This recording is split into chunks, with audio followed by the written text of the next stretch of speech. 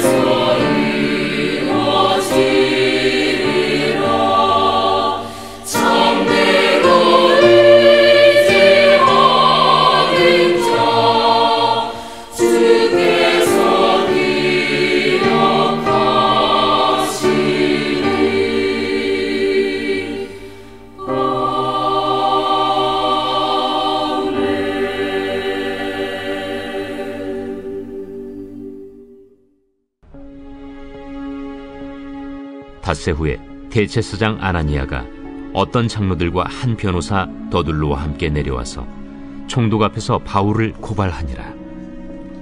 바울을 부름에 더둘로가 고발하여 이르되 벨릭스 가카야 우리가 당신을 힘입어 태평을 누리고 또 이 민족이 당신의 선견으로 말미암아 여러 가지로 개선된 것을 우리가 어느 모양으로나 어느 곳에서나 크게 감사하나이다. 당신을 더 괴롭게 아니하려 하여 우리가 대강 여짜옵나니 관용하여 들으시기를 원하나이다. 우리가 보니 이 사람은 전염병 같은 자라. 천하에 흩어진 유대인을 다 소유하게 하는 자요. 나사렛 이단의 우두머리라. 그가 또 성전을 더럽게 하려 함으로 우리가 잡았사오니 당신이 친히 그를 신문하시면 우리가 고발하는 이 모든 일을 아실 수 있나이다. 유대인들도 이에 참가하여 이 말이 옳다 주장하니라.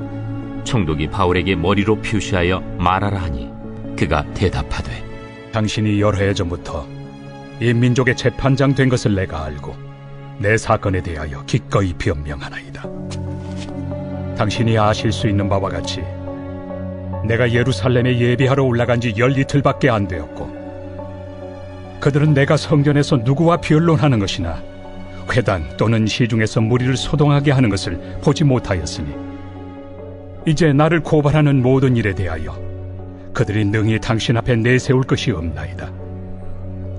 그러나 이것을 당신께 고백하리이다. 나는 그들이 이단이라 하는 도를 따라 조상의 하나님을 섬기고 율법과 선지자들의 글에 기록된 것을 다 믿으며 그들이 기다리는 바 하나님께 향한 소망을 나도 가졌으니 곧 의인과 악인의 부활이 있으리라 함이니이다. 이것으로 말미암아 나도 하나님과 사람에 대하여 항상 양심의 거리낌이 없기를 힘쓰나이다. 여러 해 만에 내가 내 민족을 구제할 것과 재물을 가지고 와서 드리는 중에 내가 결례를 행하였고 모임도 없고 소동도 없이 성전에 있는 것을 그들이 보았나이다. 그러나 아시아로부터 온 어떤 유대인들이 있었으니 그들이 만일 나를 반대할 사건이 있으면 마땅히 당신 앞에 와서 고발하였을 것이요 그렇지 않으면 이 사람들이 내가 공회 앞에 섰을 때 무슨 옳지 않은 것을 보았는가 말하라 하소서. 오직 내가 그들 가운데 서서 외치기를 내가 죽은 자의 부활에 대하여 오늘 너희 앞에 신문을 받는다고 한 이한 소리만 있을 따름이니이다. 벨릭스가 이 도에 관한 것을 더 자세히 아는 고로 연기하여 이르되 천부장 루시아가 내려오거든 너희 일을 처결하리라.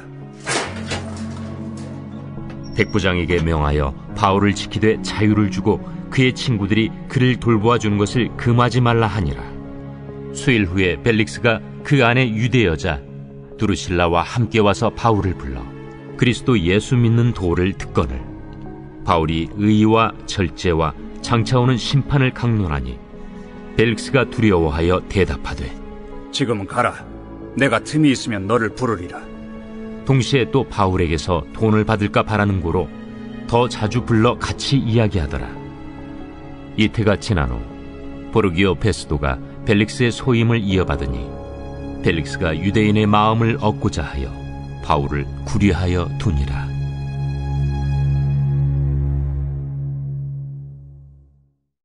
오늘 우리가 함께 나눌 말씀은 사도행전 24장의 말씀입니다. 이 말씀을 가지고 크게 이렇게 세 부류의 사람, 24장에 등장하는 이렇게 세 명의 캐릭터를 중심으로 한번 말씀을 살펴보려고 합니다. 자, 먼저 23장에서는 바울을 암살하려는 시도가 있었고, 바울의 생질이 이를 미리 알아채고, 이 바울을 위기에서 건지는 모습이 나와 있었습니다. 이후 바울은 로마군의 호위 아래 가이사라에 도착하게 되죠. 가이사야 헤롯의 여름 궁전이 있었고 거대한 전차 경기장이 있을 정도로 엄청난 도시였습니다. 헤롯이 로마의 환심을 사기 위해서 거대한 도시를 지었고 또한 그 이름을 가이사야라고 지어서 로마 황제에게 바친 듯한 도시가 바로 이 가이사라 도시였습니다. 바로 이 도시에 바울이 로마로 가기 전까지 이제 갇혀 있게 되는 것이죠. 가이사라에 무사히 도착한 바울에게 닷새 후에 대제사장 아나니아와 또한 장로들 또한 더들로라는 변호사가 함께 찾아오게 됩니다. 이 세 명의 사람들은 벨리스 총독 앞에서 바울을 고발하게 되는데요. 24장에 등장하는 첫 부류가 바로 이들입니다. 여기서 이전에 언급된 적이 없는 변호사 더들로가 나오는데요. 로마의 법으로는 바울을 어떻게 책 잡아 해를 줄 수 있을지를 이 변호사가 정말 잘 알고 있었을 겁니다. 로마의 법을 정말 잘 알고 있었기 때문에 로마 총독이었, 총독이었던 그 벨릭스 총독 앞에서 이 바울을 충분히 고발할 수 있겠다 싶어서 데려온 것이었죠. 이렇게 이들이 변호사까지 대동한 이유는 총독 앞에서 바울을 고발하는 것 때문에 그렇습니다. 예수님께서 십자가에 달려 또한 죽으셨을 때도 우리가 알 수 있지만 종교 지도자들은 사람을 죽일 수 있는 권한을 갖고 있지 않았습니다. 그렇기 때문에 예수님이 죽었을 당시에도 종교 지도자들이 빌라도 총독에게 예수님을 데려가서 십자가에 못 박을 것을 요구하는 수준의 밖이 되지 않는 것이죠. 그렇게 이번에 대제사장 아나니아도 바울을 고발하기에 앞서서 자신의 힘으로는 바울을 죽일 수 없었기 때문에 로마 총독인 벨리스 총독 앞에 변호사를 대동하고 나타난 것이었습니다. 게다가 바울은 로마 시민권자입니다. 당시 로마 시민권을 가지고 있다는 건 엄청난 혜택과 또한 엄청난 것을 누릴 수가 있었는데 특히 23장에 나와 있듯이 로마 군인들로부터 로마 시민은, 시민은 보호받을 수 있는 권리까지 있었습니다. 그러니 대제사장 아나니아가 갖고 있는 권한만으로는 이 로마 시민권자인 바울을 도무지 어떻게 할 수 없기 때문에 로마 법률에 정통한 변호사까지 대동하여 벨리스 총독에게 고발하러 나온 것이죠. 그들이 벨릭스 앞에서 바울을 고발한 내용은 5절과 6절에서 언급되어 있습니다.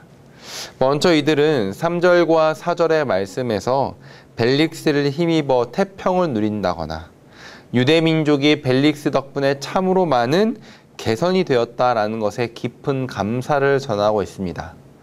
이렇게 이들이 벨리스 총독에게 전하는 인사말은 아부이죠. 딱 봐도 아부입니다. 판결권과 징계권을 갖고 있는 벨릭스에게 전하는 아부인 것이죠. 그런데 여기서 이들이 벨릭스를 힘입어 뭐 태평을 누린다라고 전하고 있는데 뭐 종교적인 이는 실제로 당시에 벨릭스는 유대인들에게 아주 오랜 시간 법과 질서를 보장해 주었던 것으로 알려져 있습니다.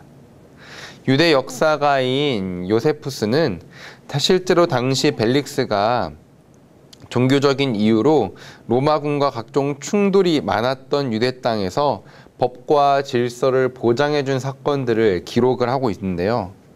당시 유대 역사를 살펴보면 애굽 출신의 한 사람이 자신을 따르는 수천 명의 사람을 대동하고 예루살렘을 위협했던 일이 있었다라고 합니다. 그런데 이를 벨리스 총독이 완전하고 또한 안전하게 진압했다라고 하죠. 이뿐만 아니라 단검을 지니고 다니면서 또한 하나의 세력을 형성했던 사람들이 있는데 이들의 우두머리라고 불렸던 엘르아사를 체포하여 사형시키고 또한 이 엘르아살의 추종자들을 십자가형으로 처형했다라고 합니다. 이러한 처형들은 예루살렘을 안전하게 지키는 것에 큰 도움이 되었다라고 하죠. 그를 이렇게 당시 유대 지도자들은 비록 벨리스 총독이 100% 마음에 들진 않았지만 여러모로 예루살렘과 또한 예루살렘 성전을 안전하게 지켜준 일들이 있었기 때문에 벨리스 총독, 총독에게 많은 감사의 마음을 갖고 있었습니다. 이러한 일이 있던 상황 가운데 대제사장 아나니아는 바울을 고발하면서 은연중에 예루살렘 그것도 그들의 심장인 성전에서 소란을 일으킨 이 사도 바울을 벨릭스가 이번에도 마땅히 또한 그들의 입장에서 처벌해야 됨을 은연중에 인사말로 내비치고 있는 것입니다. 이들이 바울을 고발하는 이유는 다분히 종교적인 이유였죠. 바울을 향해 전염병 같은 자라고 고발하고 천하에 흩어져 있는 유대인을 큰 소동을 일으킨 자다라고 고발합니다.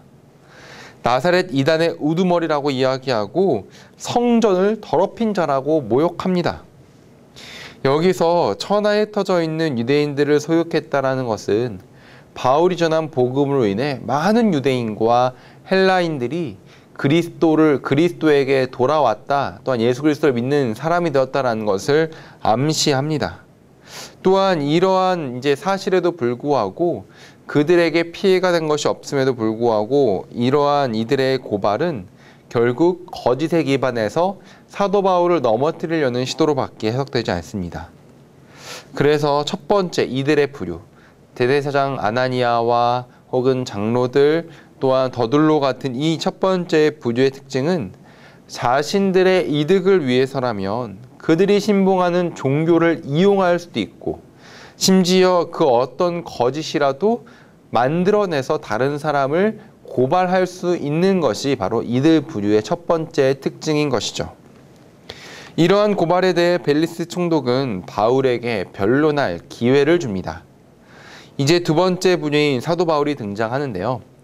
우리가 바울의 변론에서 한 가지 지혜를 엿볼 수 있는 부분은 그는 지극히 합리적이고 철저하게 자신을 변론해 가기 시작합니다.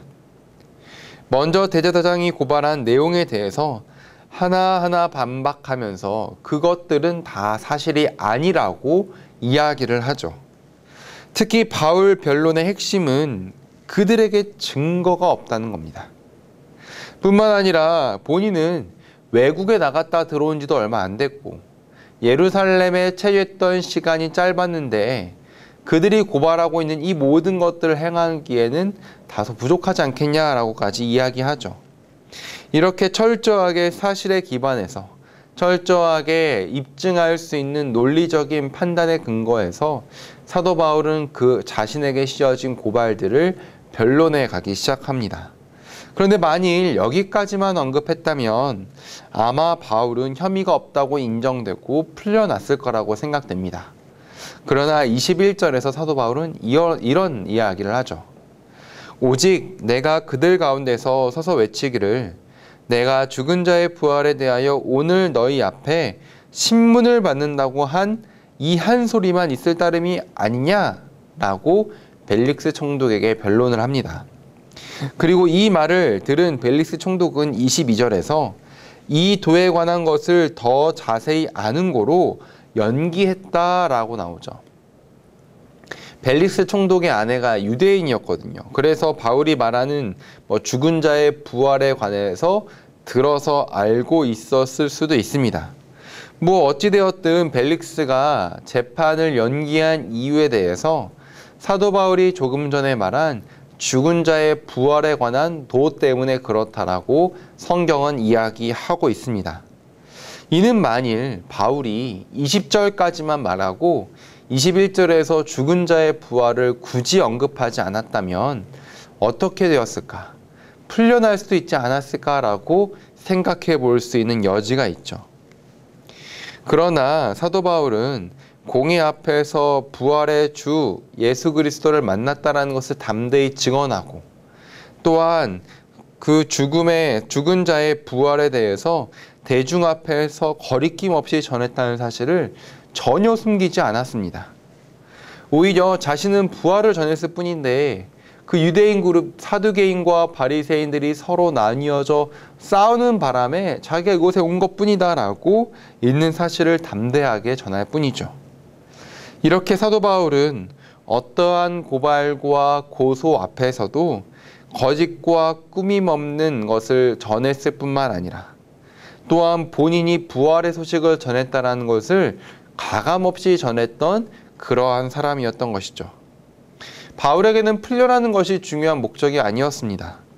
비록 21절에 말을 하지 않고 그냥 단순히 20절에서 자신의 변론이 끝났다라면은 대제사장의 고발에서 벗어날 수 있는 가장 좋은 방법이었겠지만 사도 바울은 고소고발에서 벗어나는 것이 그의 목적이 아니었습니다. 그는 로마에까지 가서 복음을 전하는 사명을 받았다는 것이 바울의 진정한 목적이었죠. 그렇기에 사도 바울은 고소고발에서 벗어날 수 있는 더 좋은 방법이 있다고 할지라도 부활의 소식을 전했다는 것을 그 어느 누구에게서도 감추지 않았던 것입니다. 자, 이제 마지막으로는 24장에 등장하는 세 번째 부류인 벨릭스 총독이 있습니다. 이 벨릭스 총독은 바울의 변론을 듣고 재판을 연기한 후에 바울을 자주 불러 그의 아내와 함께 예수 그리스도에 대한 이야기를 자주 들었다라고 성경은 기록합니다. 그리고 25절에서는 바울이 전하는 의와 절제와 또한 마지막에 있을 심판 등의 내용을 듣고 큰 두려움을 느꼈다라고까지 나와 있죠. 복음과 진리를 듣고 또한 의와 절제와 심판에 관한 이야기, 예수 그리스도에 관한 이야기를 듣고 두려움을 가졌다면 마땅히 복음 앞에 엎드려야 합니다. 하지만 벨릭스 총독은 그러지 않았죠. 오히려 바울이 과거 구제헌금을 갖고 예루살렘을 방문했다는 이야기를 들었기에 바울에게 어떠한 금전적인 대가를 얻을 수 있을까 그것을 마음에 염두하고 바울을 더 가까이 하기에 이릅니다. 즉 진리를 듣고 생긴 두려움보다 마음속에 있는 탐욕과 탐심이 벨릭스에게는 더욱더 중요했던 것이죠. 오늘 본문을 통해서 우리는 새 부류가 등장함을 살펴보았습니다. 첫 번째 부류는 대제사장이었죠. 또한 장로들과 더들로라는 변호사였습니다. 이들은 자신의 이득을 위해서는 그들이 신봉하는 종교를 이용하고 또한 거짓을 일삼아 다른 사람들을 넘어뜨리려고 하는 부류였습니다. 두 번째는 사도 바울이죠. 자신의 상황과는 상관없이 부활을 전했음을 당당히 밝히며 믿는 바대로 소명과 사명을 따라 사는 사람이었습니다. 자, 세 번째 분위는 벨릭스 총독입니다. 진리를 듣고 두려움을 느끼지만 회개하거나 그 앞에 엎드리기는커녕 마음속에 있는 더 큰 탄심에 사로잡힌 사람이었죠. 우리는 이 중에서 어떤 사람이 되어야겠습니까? 대제사장 같이 자신의 믿는 바까지 이용하면서 거짓으로 다른 사람을 고발하며 그러한 거짓된 삶을 살아가는 사람이어야겠습니까? 아니면 벨릭스 총독처럼 복음을 듣고 진리 듣고 심판에 관한 이야기를 들었음에도 불구하고 마음속에 있는 탐심을 이기지 못하고 그 복음을 외면했던 사람이 되어야겠습니까? 아니면 마지막으로 사도 바울처럼 자신이 믿고 고백하고 자신의 사명과 소명에 붙들려서 벗어나고 풀려날 수 있었지만 그것을 그것보다 더욱더 자신이 믿는 바를 담대하게 외쳤던 사도 바울의 삶입니까? 우리는 어떤 부류에 속해야 겠습니까? 마땅히 바울과 같은 부류에 속해야 된다라고 우리는 믿습니다. 소망하건대 어떠한 상황 가운데 처해 있어도 우리가 믿고 또 우리가 고백했던 신앙의 고백을 모든 사람 앞에서 고솔과 고소와 고발 당한 상태에서도 담대히 전했던 사도 바울처럼 그러한 우리 모두가 되기를 소망합니다. 그리고 무엇보다 그 사도 바울의 마음 가운데는 주님의 주님께서 주신 소명과 부르심, 사명이 있었음을 기억을 하고 그 사명과 소명을 붙들었을 때 고솔과 고소와 고발 자리 앞에서도 담대하게 자기가 믿는 바를 전할 수 있었다는 것을 기억하고 오늘 하루도 우리를 부르신 소명과 사명을 따라 오늘 하루 성실히 살아가는 우리 모든 성도가 되기를 주님의 이름으로 축원합니다. 기도하도록 하겠습니다. 사랑과 내가 풍성하신 하나님 아버지 은혜를 감사합니다. 오늘 사도행전 24장의 말씀을 통해서 세 부류가 있음을 살펴보았습니다. 또한 그 세 부류 중에 사도 바울처럼 우리의 삶이 변화되고 또한 그렇게 살아가기를 소망했습니다. 하나님 아버지 우리가 이 땅을 살아가면서 대제사장도 또한 벨릭스 같은 모습으로 살아가는 것이 아니라 자신의 소명과 사명을 붙들고 자신이 믿는 바를 담대하게 이야기하여서 그 어떠한 상황 가운데도 죽은 자의 부활, 예수 그리스도의 부활을 담대히 전할 수 있는 우리 모두가 될 수 있도록 주여 인도하여 주옵소서. 우리 하루의 삶을 다 지켜주시고 우리 하루의 삶이 정말 주님께서 부르신 소명과 사명을 따라 살아가는 우리 모두가 될 수 있도록 주여 인도하여 주시옵소서. 이제는 죽기까지 사랑하신 예수 그리스도의 은혜와 이 땅 가운데 독생자를 보내신 하나님의 크신 사랑하심과 영원토록 우리와 함께 하시는 성령님의 동행하심이 이 시간 바울의 삶대로 소명과 사명을 붙들고 어떠한 상황 가운데서도 복음과 지를 담대히 전하기를 소망하는 주의 모든 자녀들의 머리 위 가운데 지금부터 영원토록 함께 있을 지어다. 아멘.